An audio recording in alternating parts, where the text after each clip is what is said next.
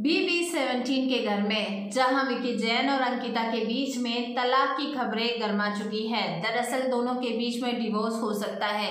उसके पीछे का सबसे बड़ा कारण है सुशांत सिंह राजपूत। दरअसल जब भी विकी जैन जो है वो अंकिता से लड़ाई करते हैं, उस समय उनके पास्ट को उनके बीच में ले आते हैं। ये बात सुनकर उनके फैंस भी काफ़ी ज़्यादा नाराज़ हो रहे हैं क्योंकि अंकिता की पास लाइफ जो कि ख़त्म हो चुकी है क्योंकि जैन घूम घूम कर वही बात करते हैं।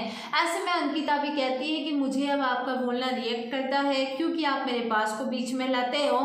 मैं यही सोचती थी कि आप मेरी सबसे बड़ी ताकत है, लेकिन आपने तो मेरे पास को बीच में लाकर मुझे कमज़ोर कर दिया है।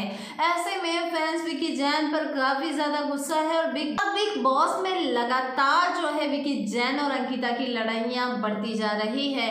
यहाँ तक कि उनके बिग बॉस से बाहर निकलने के बाद डिवोर्स की खबरें काफ़ी ज़्यादा तेज़ हो चुकी हैं।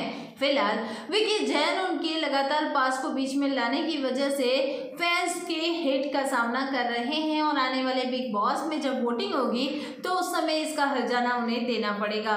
अंकिता और विकी जैन की लड़ाई को लेकर और उनके पास को लेकर आप क्या कुछ कहेंगे, हमें कमेंट बॉक्स में ज़रूर बताएँ। अगर आपको भी इनकी जोड़ी अच्छी लगती है तो चैनल को सब्सक्राइब ज़रूर करें।